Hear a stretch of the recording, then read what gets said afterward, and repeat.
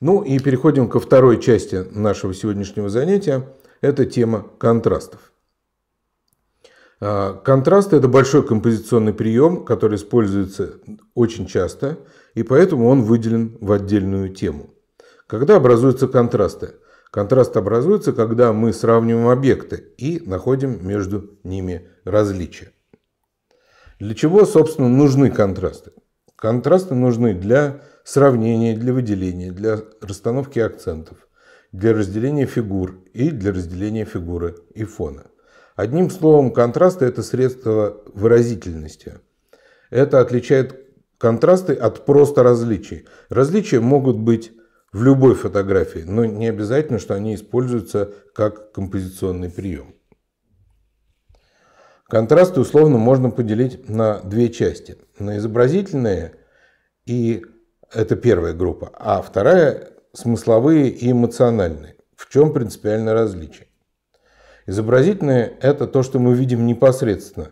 Они нам э, говорят, это, это контрасты, которые основаны на форме, цвете, тоне, светлоте, яркости, то есть положении, размере, толщине, текстурах, направлении, ощущении веса – Одним словом, это какие-то реальные физические свойства, которые, которые мы видим в изображении. А смысловые эмоциональные контрасты возникают в результате размышлений над фотографией. А что может быть признаками, контрастирующими признаками? Возраст, эмоциональное состояние людей, а, взрослый ребенок, злой, добрый, не физические ощущения. А когда мы говорим об эмоциональных контрастах, то речь идет об, о контрасте эмоций. Ну, например, а, радостный, грустный, спокойный и нервный или беспокойный. А, ну и так далее. Одним словом, понятно, что в одном случае идет речь о э, непосредственных физических свойствах, а в другом случае либо о смыслах, либо о эмоциях. Изобра... Давайте посмотрим теперь примеры. Вот изобразительные контрасты. А, сначала мы проиллюстрируем их картинками. Контраст большое маленькое, широкое узкое, толстое тонкое, высокое низкое, спокойное тревожное, гладкое шероховатое. Гладко шероховатое – это контраст текстур. Прозрачное, непрозрачное – много-мало. А, вы видите, что все контрасты характеризуются парой свойств – пары контрастирующих свойств. Спокойное, тревожное, прозрачное, непрозрачное и так далее. Для того, чтобы объяснить, какой контраст мы видим, достаточно воспользоваться этой парой. Достаточно двух слов, иногда четырех. Примеры фотографические. Э, на этой фотографии изображена женщина на фоне вот такой какой-то геометричной фигуры линия, линия фигуры, к которой она прислонилась, прямая. Сама же э, форма ее платья, форма ее фигуры э, достаточно элегантная. И две эти линии контрастируют. Мы как бы невольно сравниваем э, элегантную форму, изысканную, сложную и простую прямую. Здесь на фотографии Анри Картье-Брессона изображен, изображен маленький человек и его животное. А, здесь противопоставлены большие объекты, высокие здания и маленькие объекты, живые. А, по сути дела, э, правильнее было бы говорить здесь не столько о контрасте, сколько о противопоставлении, потому что все-таки контрастируют объекты, которые похожи. Но здесь фотография настолько абстрактна, что здесь мы можем просто говорить об объектах, больших и маленьких. Большие объекты контрастируют с маленькими. Здесь известная фотография. А, значит, девушка провожает солдата а, в армию. Сэм Худ, автор этой фотографии. Ну и здесь использован контраст по высоте, по размерам. Простой контраст, э, прозрачный и непрозрачный. Это контраст Э, изобразительный. Этот контра... Эти два контраста, они тоже были изобразительными. здесь есть три объекта, и они могут быть поделены на группы по разным свойствам. Одно свойство – это высота, маленький и большие. А второе свойство смысловое – собаки и люди. Ну и, естественно, а, сначала мы, делим, сначала мы улавливаем контраст изобразительный, большое и маленькое, а потом обнаруживаем, что, он не, что это деление не соответствует смысловому. И из-за этого эта фотография смотрится интересно. Противоречие между контрастами становится композиционным приемом. Это простая фотография, здесь используем контраст текстур. Текстура с кружочками, текстура э, такой материи, текстура складок. Групповой портрет э, известных моделей. И, естественно, одна из них э, контрастирует по цвету кожи. С одной стороны, это Контраст чисто изобразительный, потому что цвет кожи это, это, это по сути дела цвет, оттенок.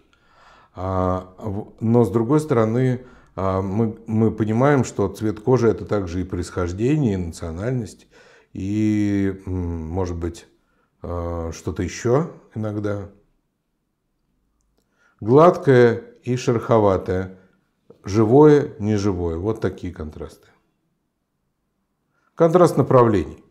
Все дети стоят, и один мальчик э, висит на турнике. Контраст размеров задает масштаб. Э, мы, глядя на фигурки людей, понимаем, какой огромный мост. Тоже контраст направлений, вертикальный и горизонтальный. Это геометричная, абстрактная фотография Майкла Кенны. На этой фотографии использованы сразу несколько контрастов, и смысловые, и изобразительные. И все работают в одном и том же направлении, как бы бьют э, в одну точку. Изобразительный контраст – это светлое и темное. А, слева светлое, справа темное. А с левой части находится человек, с правой животные. Ну, естественно, они контрастируют. Человек кормит животных, животные едят. Разные выполняют функции разные заняты разными делами.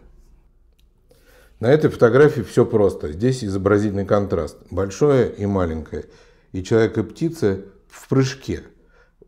Поэтому мы их рассматриваем как нечто похожее друг на друга. В принципе, правильнее противопоставлять объекты, которые имеют, ну, как бы, общие свойства. На этой фотографии изображен полицейский и э, овцы. Ну, овцы, конечно же, ассоциируются у нас с обычными людьми. Ну, а полицейские со властью. Власть и подчиненные. Так можно характеризовать этот смысловой контраст. А изобразительный контраст более простой. Много и мало. Полицейский один, э, а овец много. Был такой момент, когда была сделана эта фотография, э, в Лондоне оказалось э, какое-то огромное количество овец. Я не знаю, откуда они взялись, но было сделано в один день много-много фотографий, а, когда все заполнено животными. Живое и неживое контраст на этой фотографии. И это, конечно, смысловой контраст. Одетые и раздетые, темнокожие, светлокожие прыгают, идут. Разные контрасты. Цветное, черно-белое контраст настроения. Это настроение, будем говорить так, э, семейное какое-то такое, а здесь э, ну, просто соседки или подружки.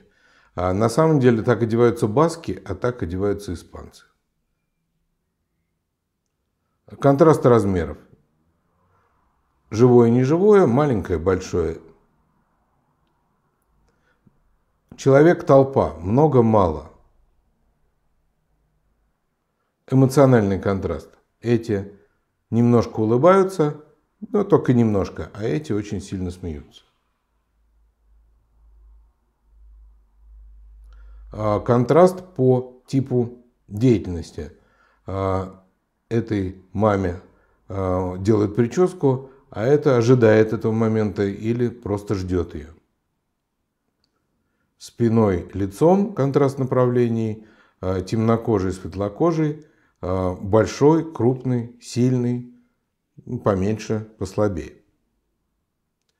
Одиночество и неодиночество. А здесь какая-то любовь развивается, а здесь грусть. Взаимодействуют с фотографом, а остальные не взаимодействуют с кем-то другим. Различие как бы занятий, различия в виде деятельности. Реальность и мечты о реальности, заявленная реальность и настоящая реальность. Фотография сделана во времена э, Большой депрессии. Люди стоят в очереди, а плакат говорит о том, что жизнь прекрасна. Против, опять противопоставление. Один человек и парочка, одинокие и не одинокие. А, и, соответственно, рядом с ним сломанная скамейка, целые скамейки в другой части изображения. Ну и здесь много скамеечек, так же, как и их, не одна, две. А здесь одна скамейка. На этом изображении э, мы видим э, тоже несколько контрастов. Один сидит, другие стоят, один двое босиком, один э, обут. Ну и у двоих в руках находятся листочки бумаги, по-видимому, это журналисты, а у третьего в руках какая-то электронная пишущая машинка.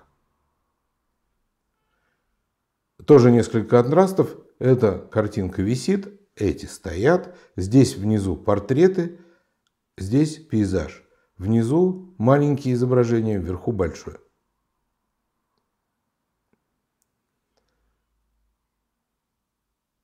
Фотографии Марка Рибу. Здесь противопоставляется война и мир.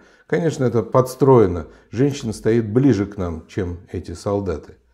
Ну, э, это противопоставление достаточно условное. Девочка, девушка. А, такое элегическое настроение и настроение заинтересованности.